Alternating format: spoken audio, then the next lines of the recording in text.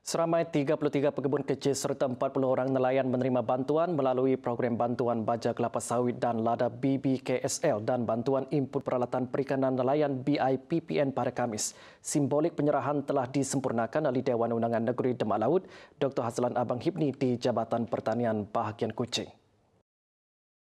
Menurut salah seorang penerima bantuan Ismail Engket, bantuan tersebut yang sedikit sebanyak dapat mengurangkan kos sara hidup mereka diharapkan akan diteruskan. Kesannya amat ketara kalau ada diberi bantuan macam tu dulu-dulu kumpulan kecil tidak mampu nak beli baja dan racun. Oleh kerana adanya bantuan sedikit sebanyak ini dapatlah mengurangkan beban kami orang pekebun kecil ini.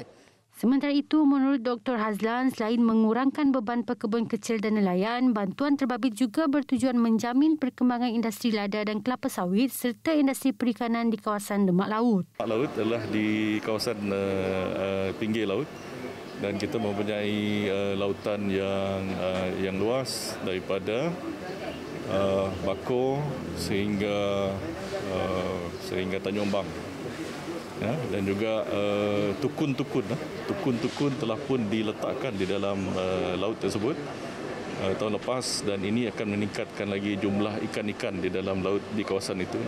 Dan ini akan meningkatkan lagi uh, pendapatan uh, para nelayan.